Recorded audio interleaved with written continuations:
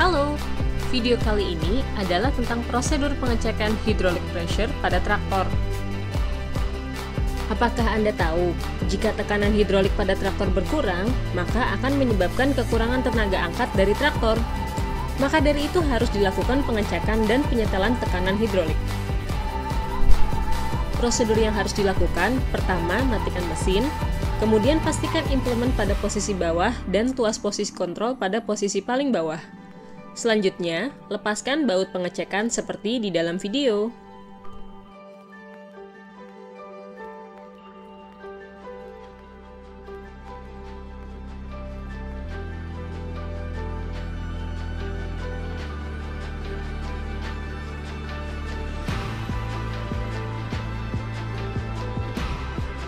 Lalu, pasangkan adaptor pengecekan tekanan hidrolik dan hidrolik pressure gauge seperti di dalam video.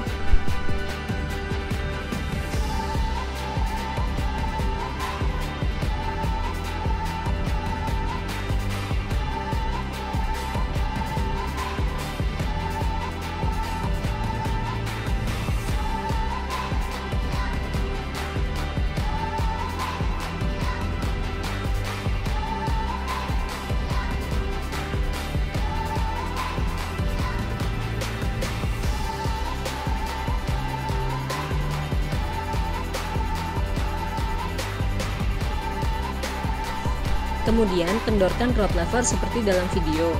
Gunanya adalah ketika pengetesan membuat hingga relief valve bekerja sehingga kita dapat mengetahui berapa pressure hidroliknya.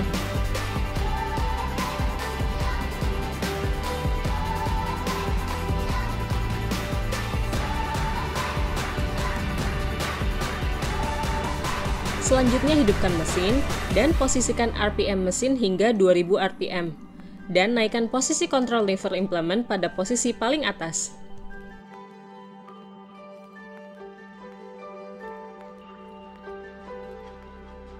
Mainkan rod lever seperti dalam video hingga terdengar suara relief valve atau hingga kita dapat melihat tekanan hidrolik tertingginya.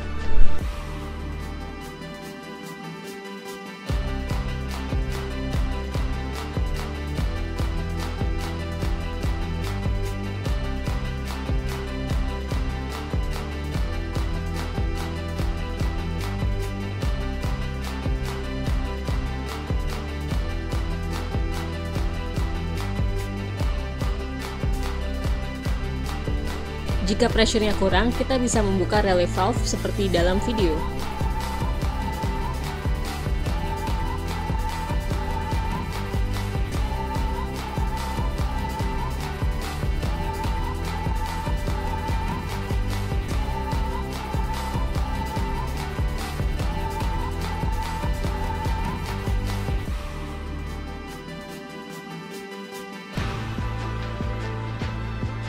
Berikut adalah komponen pada relief valve.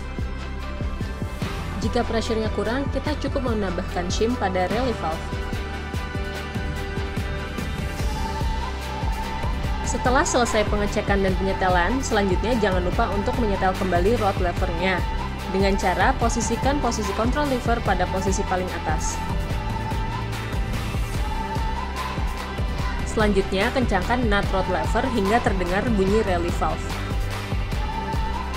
Lalu kendorkan nut pada rod lever dua putaran hingga relief valve tidak berbunyi lagi.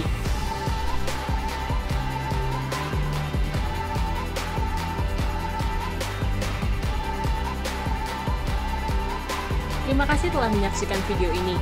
Nantikan video-video kami lainnya ya.